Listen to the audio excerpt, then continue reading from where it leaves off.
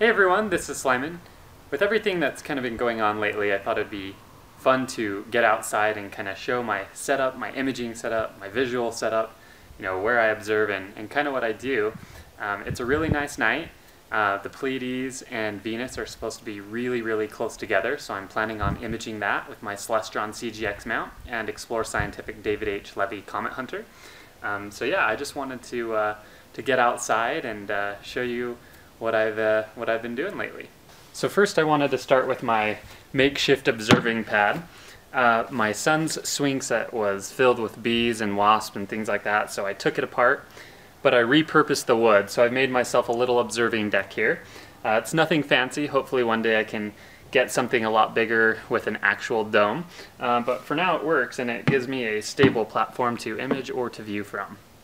Okay, so the first thing that you'll notice is all of my mounts are Celestron mounts. Uh, this is what I started with, and then I moved on to the Advanced VX, and I've kind of progressed up from there.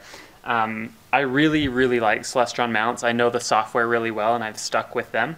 And, you know, I've always found that they've worked really, really well. So if it ain't broke, why fix it, right? So the first thing I have, this is my Celestron Nexstar SE mount.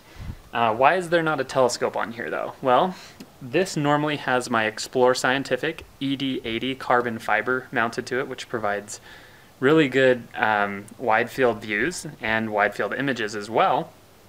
And I sent that to Explore Scientific a couple months ago for them to clean it and collimate it because it's getting pretty dusty.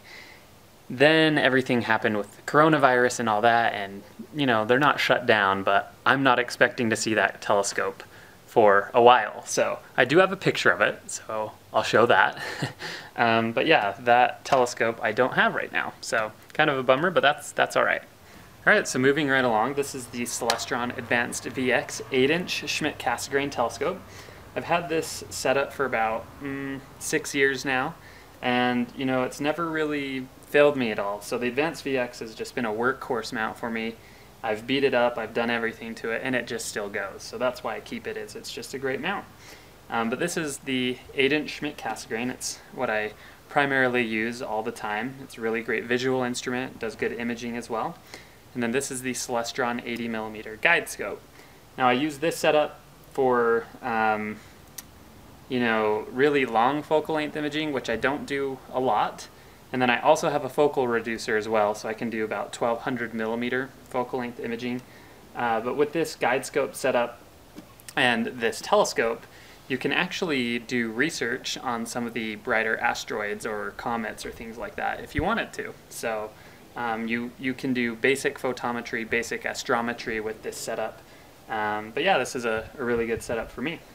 Okay, so this is the Celestron CGX mount. This is a beast, and I love this mount. It is awesome. Tracks really, really well. Holds 55 pounds. So this is my Explore Scientific David H. Levy Comet Hunter. This is a 6-inch Maksutov Newtonian. This is my medium focal length imaging scope. I love this telescope. Gives amazing views, does awesome for imaging as well. And on the CGX, it's an awesome combo. It doesn't weigh too much, and uh, it, it just gets the job done. Now, there is one other thing I'd like to mention. I did say that um, I use this setup on the Advanced VX. Oftentimes, I will take the 8-inch Schmidt-Cassegrain and the 80mm guide scope, and I will put it on the CGX mount. So CGX mount is rock solid. It's my main mount, and it is awesome. And then lastly, this is my 5-inch Celestron StarSense Explorer DX. This is a, a 130 millimeter Newtonian with the smartphone enabled app. Now, I've actually used this telescope more the last few months than any of the others because I can set it up so quickly. Um, in under two minutes, you can be running with this. Uh, I think this telescope is, is really, really cool. I had the chance to review it and play around with it a lot. And, you know, if you just have 10 to 15 minutes, it's a great scope to take outside. So yeah, that's, you know, my observing setup, what I've got right now. Um, absolutely love it. I'm pretty happy and content with what I have. The only thing I will be adding besides, you know, the, the cameras and such is a RASA 8 pretty soon. I'm hoping to get one of those to get some really wide field imaging going.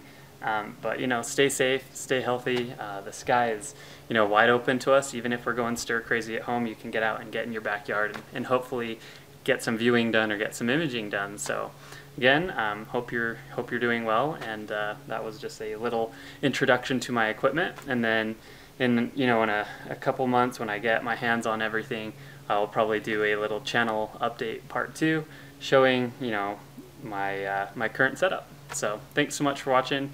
Again, stay safe, stay healthy, clear skies, and we'll uh, we'll see you later.